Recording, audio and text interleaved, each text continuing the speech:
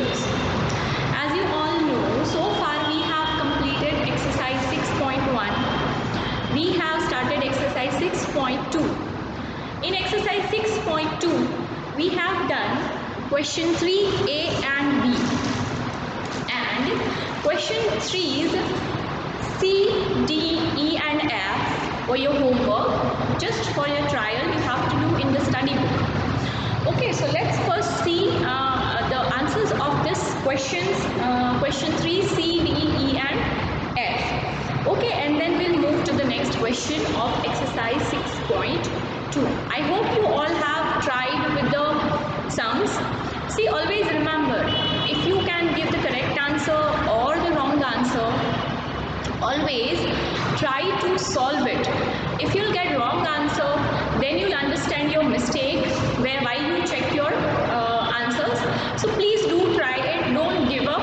Like uh, you are not getting and you're giving up. Don't do it. Please try to solve the sums which we give you in the homework or for the practice.